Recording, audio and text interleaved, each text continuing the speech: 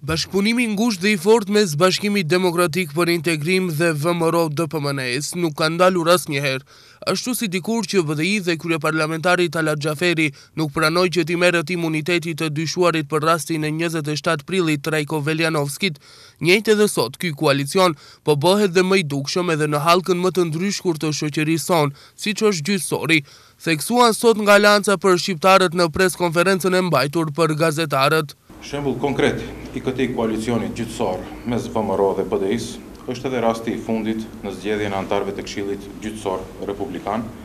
ku kandidati i afërt i BDI-së, Selim Ademi, u rizgjodh në mënyrë të shpejtë nga Komisioni për Zgjedhje dhe Emërime, duke u mbështetur plotësisht nga deputetët e vet të BDI-së, të LSDM-së por edhe të VMRO-DPMNE-së. Pra zgjidhet për herë të dytë në një pozitë të njëjtë, shtrohet pyetja se çfarë reforme mund të presin qytetarët nga Këshilli Gjyqësor Republikan, i cili duhej fillimisht të reformohej vetë dhe më pas të reformojë sistemin gjyqësor. Ç'mund të presim nga Këshilli Gjyqësor Republikan, i cili po shndërrohet në një vegël të pushtetit,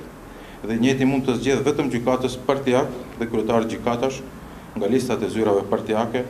dhe jo gjykatës dhe kryetarë gjykatash të pavarur dhe profesionistë. Se BDI bën gjithçka për vete dhe për t'i shpëtuar zyrtarët e saj të inkriminuar dhe të korruptuar, ishte edhe sjellja e gjykatësit Naser Hajdari, ish-zyrtari i lartë i BDI-së, tani anëtar i Gjykatës Kushtetuese, i cili së bashku me gjykatës të afërt me VMRO-n votoi për t'u shqyrtuar falja e jashtëligjshme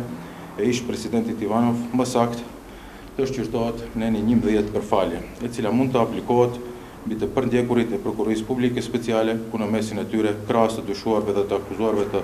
funksionarëve të VMRO-së ka edhe zyrtarë të lartë të BDI-së. Aleanca për Shqiptarët për shkak të gjithë këtyre treguesve edhe një herë bën kërkesë publike që të fillohet me vetting urgjent për të çliruar pushtetin gjyqësor nga ndikimi i pushtetit ligjvënës dhe ai ekzekutiv, si dhe lirimit të tij nga uzurpimet partiake që po dëmtojnë një sistem të tërë të drejtësisë, BDI nuk mund të manipulojë me kërkesa false për vetting, me shpresë që vettingu do të organizojmë vetë. Ne si parti, me çdo forcë që kemi, do të bëjmë kërkesë që vettingu të realizohet në formën e tij më të pastër, me asistencë të shteteve të Bashkimit Evropian, që të arrihen rezultate të mirëfillta që sistemi jonë i drejtësisë të çlirohet nga gjykatësit dhe prokurorët e politizuar dhe të korruptuar, që janë në shërbim të klientelizmit partiak-politik, dhe jo në interes të sistemit të drejtësisë, përfunduan nga Aleanca për Shqiptarët.